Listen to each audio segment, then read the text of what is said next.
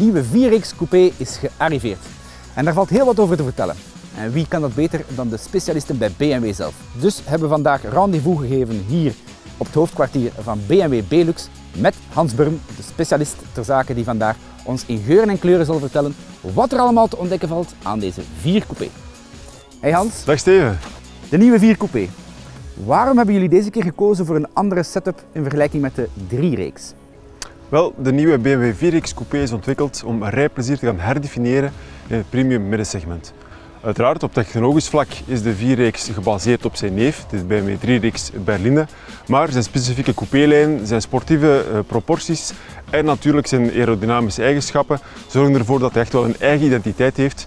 En die verantwoorden natuurlijk ook zijn uh, eigen uh, modelnaam, de 4-reeks. Bovendien zorgt de modelspecifieke setup van het chassis ook voor een groter verschil tussen de 3-reeks en de 4-reeks. En dat maakt hem bovendien ook een pak vinniger dan zijn voorganger. Ja, je spreekt over een ander rijwielgedeelte, dus het chassis heeft een specifieke afstelling gekregen dan ook van 4-reeks coupé versus 3-reeks. Inderdaad, de spoorbreedte bijvoorbeeld is 23 mm breder bij de 4-reeks in vergelijking met de 3-reeks. Wat ervoor zorgt dat de wagen eigenlijk perfect comfort kan gaan combineren met sportieve rij-eigenschappen. Bovendien is de 4-reeks ook 57 mm minder hoog dan de 3-reeks, wat zorgt voor een, een zwaartepunt dat 21 mm lager ligt. Wat natuurlijk uh, perfect is voor sportief bochtenwerk en uh, zeer scherpe handeling. Hij, hij, ziet er ook anders uit dan de 3X, wat natuurlijk onmiddellijk opvalt. Kan je ons daar iets meer over vertellen over de designverschillen? Wel, de, de look en het design van de wagen vallen onmiddellijk op vanuit elke, elke hoek. Maar ik denk toch dat het voornaamste designelement wat we gaan herkennen op de 4X zijn nieren zijn. Zijn, zijn verticaal gepositioneerde nieren die echt wel onmiddellijk in het oog springen. En eigenlijk ook een knipoog zijn naar de oorspronkelijke coupés uit de jaren 30 en daarna zoals de BMW 328 coupé en de 3.0 CSI. Uh, wat ook specifiek is aan deze nieren is dat ze steeds zijn uitgerust met het uh, mesh-effect. Dat we bijvoorbeeld ook kennen van op andere BMW-modellen zoals bijvoorbeeld de Z4.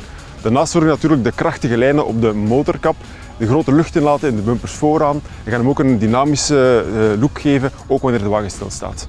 Ik heb je net horen vertellen dat de auto, dat de coupé nu iets lager is. Hoe zit het dan naar interieurruimte toe? Zijn daar dan grotere verschillen?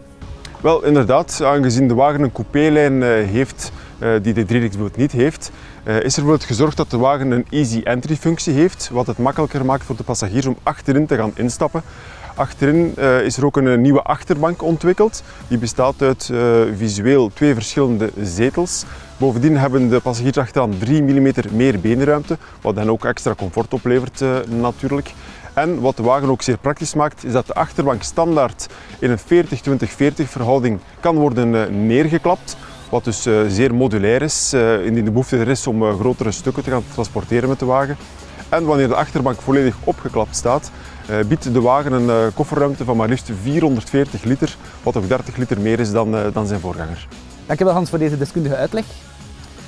U bedankt voor het kijken. Er is ook nog een video over de technologie. Dan ontdek je meer over de binnenkant van de 4 Coupé.